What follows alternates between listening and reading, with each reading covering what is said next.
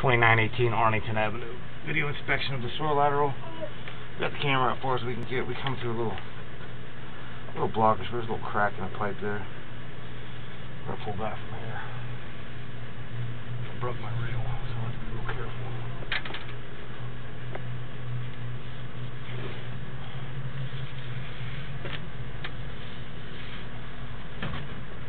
Make sure we get this at. Uh oh.